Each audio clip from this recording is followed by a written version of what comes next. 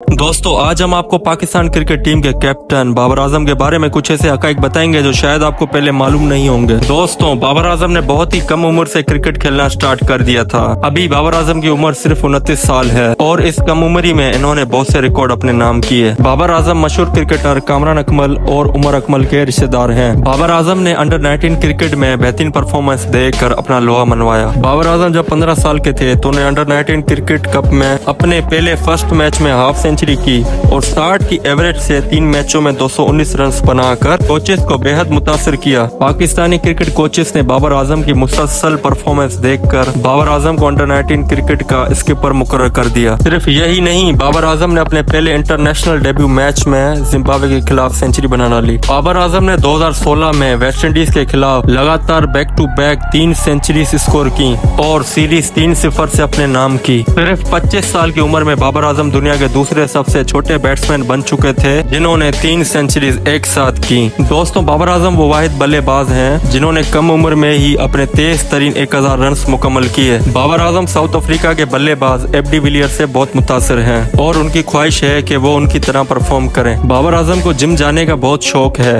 वो अक्सर एक्सरसाइज करते हुए अपनी तस्वीर सोशल मीडिया पर पोस्ट करते हैं। दोस्तों, बाबर आज़म से जुड़ा एक मज़ेदार वाक्य तब पेश आया, जब बाबर आज़म इंग्लैंड के खिलाफ अपना पहला टी मैच खेल। रहे थे। दोस्तों, हुआ कुछ यूँ जब इंग्लैंड के बल्लेबाज ने एक्स्ट्रा कवर की तरफ़ अपना शॉट मारा तो बाबर आज़म ने अपनी पूरी कोशिश की कि वो बॉल को पकड़ ले। इस दौरान बाबर आज़म को बाजू में चोट आ गई और वो उठ भी नहीं पा रहे थे। फिर पाकिस्तानी ऑलराउंडर शोएब मलिक ने उनको गोड में उठाया और ड्रेसिंग रूम ले गए और मैच के बाद पूरी टीम ने बाबर आज़म का खूब मज़ाक उड़ाया। दोस्तों, बाबर आज़म ओडीआई रैंकिंग में पूरी दुनिया में इस वक्त नंबर वन पर हैं और बाबर आज़म इस पोजीशन पर एक हज़ार दिन से बरकरार हैं। Babar Azam T twenty format में एज अ कैप्टन सबसे ज़्यादा मैचेस जीतने वाले कप्तानों की लिस्ट में नंबर वन पर हैं। और दोस्तों क्रिकेट के बड़े बड़े तजिया निगारों का कहना है, बाबर आज़म फ्यूचर में सचिन तेंदुलकर को भी पीछे छोड़ सकते हैं। और इतनी छोटी सी उम्र में बाबर आज़म का इस पोजीशन में आना वाकई पाकिस्तान के लिए बहुत ही ज़्यादा फखर की बात है। उम्मीद है दोस्तों, आपको बाबर आज़म के बारे में ये हक